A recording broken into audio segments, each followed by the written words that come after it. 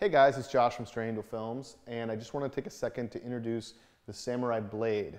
This is the second version of the Samurai that Atomos has made, and it records to the same 10-bit 422 either ProRes or DNxHD files, but the rest of the unit is really improved and it's got some great features that make it way more useful as both an onboard monitor and just as a recorder in general.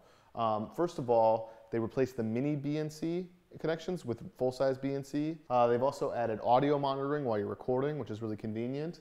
And the main improvements have really come in the screens. So they've upped the resolution to full 1280 by 720, uh, which is you know on par or better than most of what you're going to see in, in, an on, in most onboard monitors. Um, they added a ton of features like a waveform, uh, RGB parade waveform.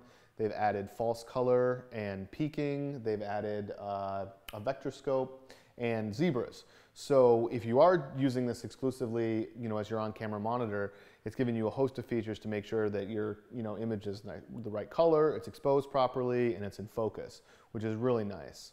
Um, lastly, they've added director's cut, which allows you to go through your clips after you shot them and mark them for rejection or as favorites, which can save you a little time in post.